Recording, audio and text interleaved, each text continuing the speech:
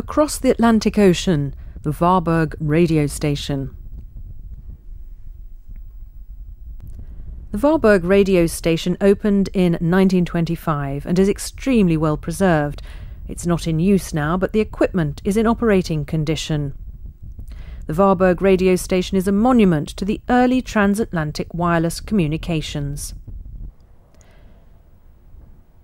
These aerials are 127 metres high. They were the tallest structures to be built in Sweden at the time. Many towering antennas were built. Their job was to multiply radio signals that were strong enough to travel from Sweden to America. After the First World War, many countries sought to connect the world via long-wave radio telegraphic transmission. Before the invention of shortwave signals, a huge amount of signal output was required to transmit signals across continents. Sweden invested considerable resources to build this facility and join the Morse code International Radio Transmission Network.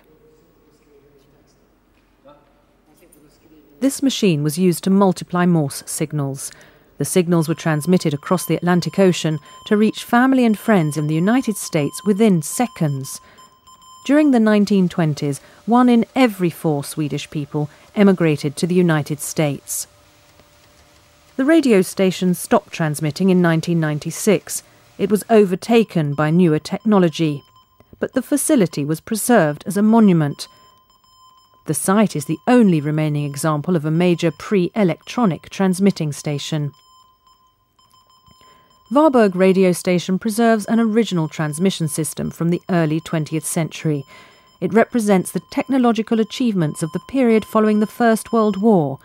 It also preserves the memories, hopes, and wishes of the Swedish people.